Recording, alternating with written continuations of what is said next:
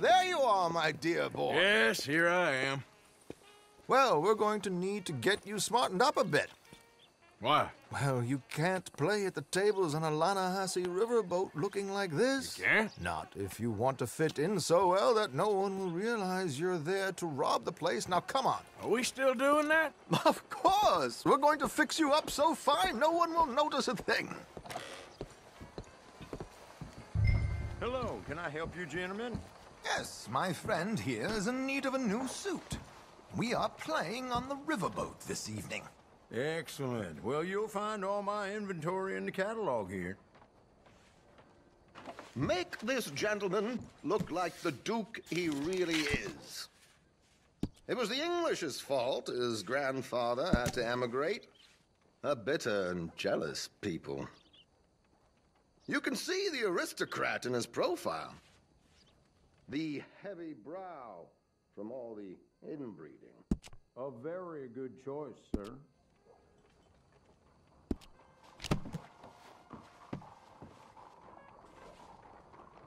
Come on, let's get you to the barber. Sure. Good luck tonight, gentlemen. Herr Strauss has scoped the whole thing out. It's quite ingenious, actually. What is? The action he has planned.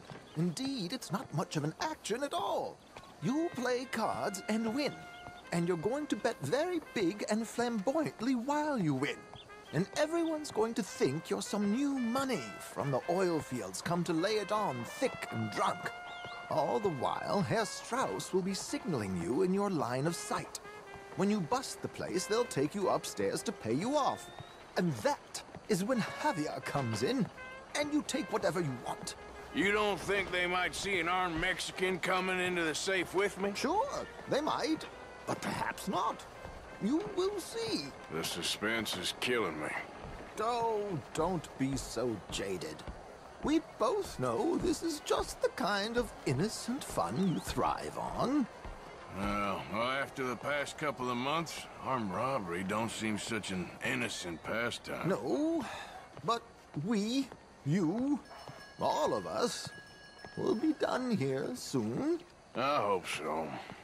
Come on. How you doing today? My good man, could you smarten up my dear hick friend here? This unlikely fellow has made himself a fortune in the oil fields and learned himself not a lick of manners or gentlemanly deportment. Well, very good, sir. No, it's not good. Not good at all. Not if they're going to let him play big at the tables tonight.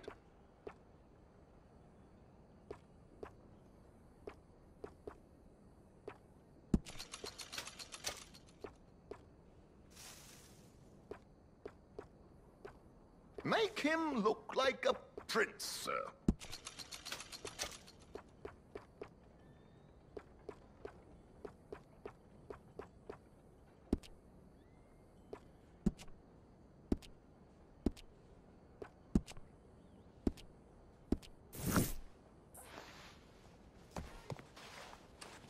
There, very smart.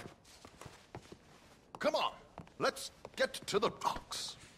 I've arranged some transportation.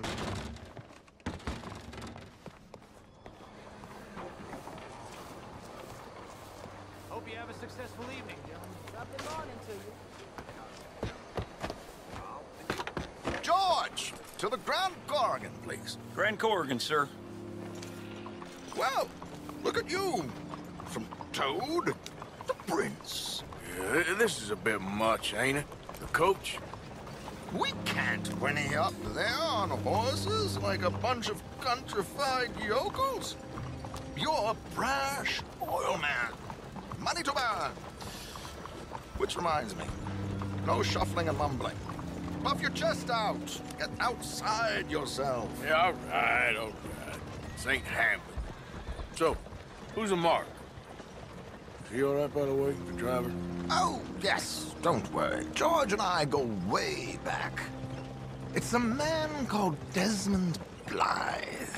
Made a fortune in hosiery of all things.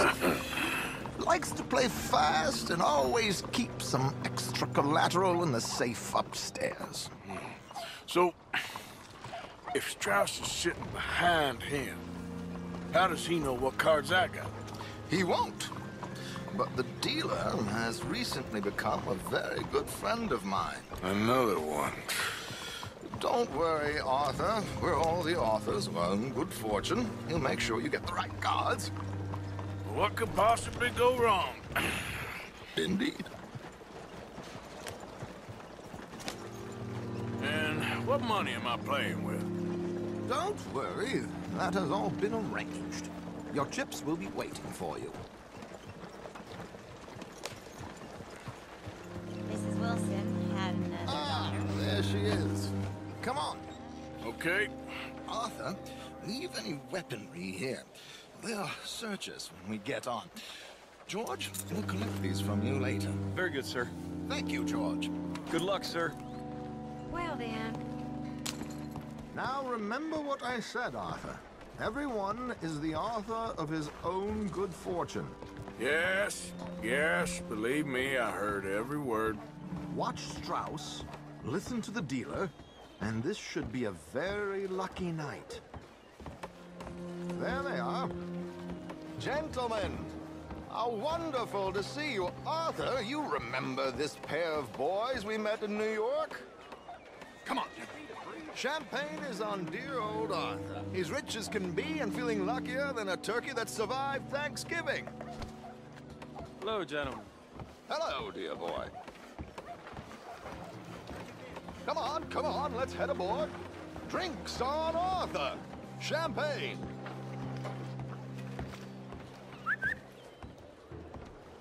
I'm afraid we require all patrons to hand over their guns. Good time. The tables await. I'll go find myself a change of clothes. Okay. You seem unsure. Robbing a heavily armed riverboat without a gun tends to bring out the self-doubt in me. These people are virtually idiots. This is simple stuff. Now have a good time, but don't lose too much money or your wife is going to kill me. Whatever you say. Now where can I get a cocktail?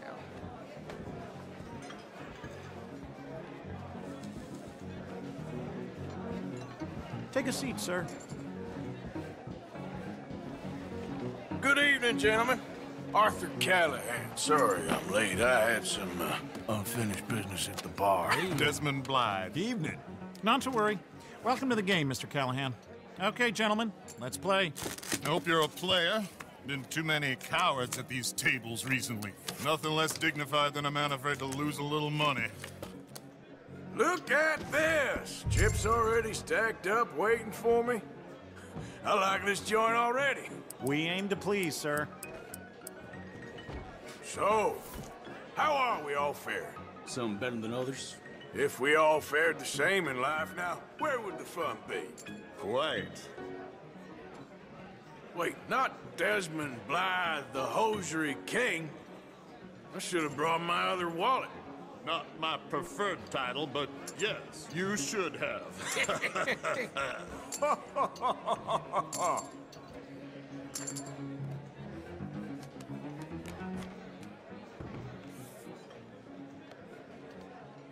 okay, sorry, boys, I'm taking it all.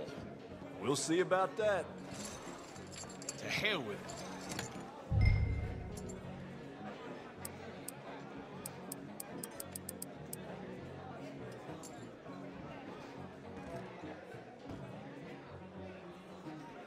Are you playing?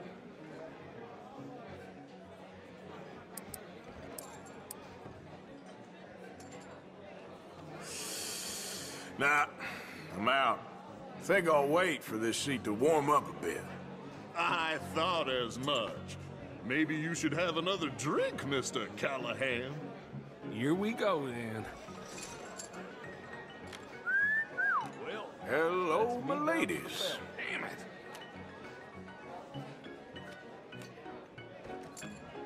Mr. Blythe wins with three queens. Goodbye, gentlemen. I guess it's just you and me now, friend. Yes, it is. Time to see if you're really the man you seem to think you are. Likewise, Mr. Blythe. So, what business are you in, Mr. Callahan? I'm an oil man, for my sins. Funny, I haven't heard of you. Oh, you will. You know, I thought about getting into hosiery, but I just look better in a suit. I would stick to oil, Mr. Callahan. I don't think you have a future on the stage. You sound just like my wife.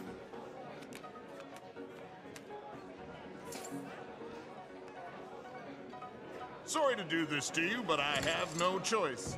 All in.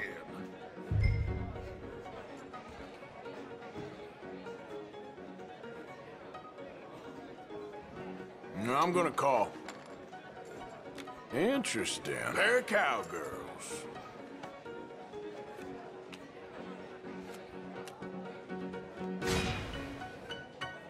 Shit! Shit! I guess my luck held. Is that you done? Done? Bust. Or, uh, you got something else to play with? Meaning. Well, I heard... Well, I heard there was some big boys on this boat. Maybe that's not you. No offense. Sit your hillbilly ass down. Why? I got a watch. Look at you. An expensive one. Real fine. Swiss. A Reutlinger, no less. It's in the safe upstairs. It's worth more than you. Okay. I trust you. Now play. As you wish. So, you must know Leviticus Cornwall, big oil man like you. Of course, we've crossed paths. I was fortunate enough to tour a little operation of his up in New Hanover. Let's not waste any more time here. All in. Don't worry, sir. Everyone is the author of his own good fortune. Well, nothing ventured, nothing gained. Pair of kings. Very good, but not good enough. Shit. Uh-oh. Yes, you little beauty. Hard lines, Mr. Blythe. Mr. Callahan wins with an ace-high diamond flush. God damn you! No offense. None taken. Well played, sir. Unlucky, Desmond. Now, forgive my lack of discretion, but, uh, where might I find this watch? It's upstairs. Shall we go and have a look? Why not? Gentlemen. Please, cash these out for me. I, I started last week. Good. Sure. Perhaps you could escort us up to the office. Yes, of course, sir. Thank you. Follow me, gentlemen. Come with me, sir. You're having quite the night. Yeah, so far. I cannot believe someone gave a greaser a job. we live in strange times. Personally, I wouldn't trust one with a gun, but fear not. I've got my own little lawgiver right here. Very good. Next, we'll be hiring Negroes. I know, I know. Think you're going to like this watch, sir. I saw it earlier, and it really is a handsome piece. Foreign made, but you can't have everything. Indeed. Well, here we are.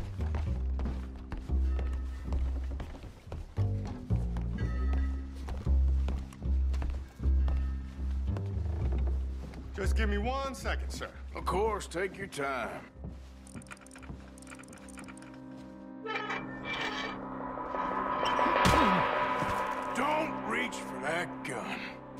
Take his gun, Arthur.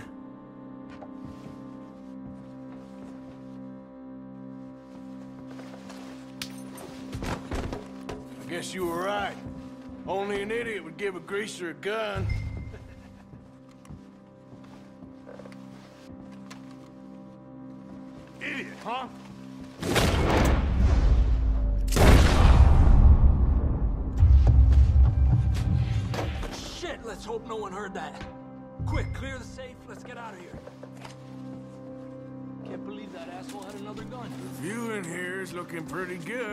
How much is there? Must be a few thousand plus the watch. Nice.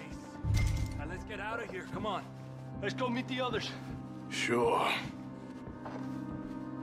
reckon we've only got a few minutes to get out of here. If we're lucky. Come on, this way.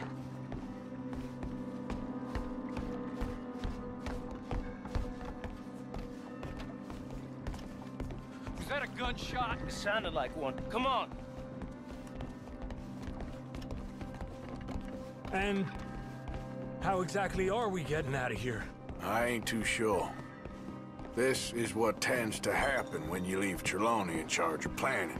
No garnish, no meat. Probably involve us dressing up as dancing girls and can cannon off the side. Nice uniform, by the way. Thanks. I'd give anyone a job these days. Anyway, we shouldn't give ourselves away till we know we need to. Maybe we could still blend into the crowd when it all goes crazy. Which it surely will. To the bar, senor! I hope you had fun, sir. At the time of my life. You boys sure know how to put on a show. That's wonderful. ah, look, there's your friend. Not a no good cheat, and I beg you to take back the insinuation.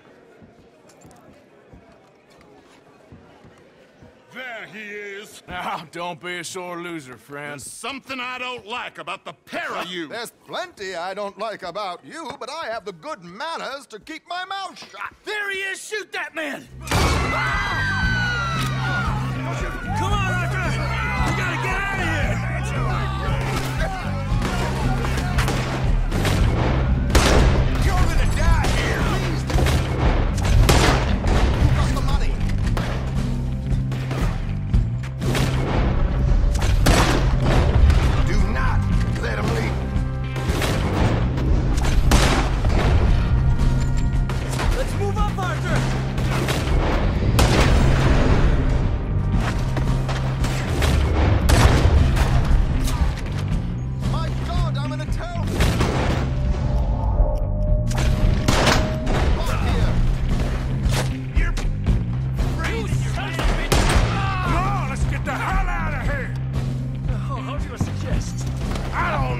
my show! Silly me, I clean forgot to bring my gun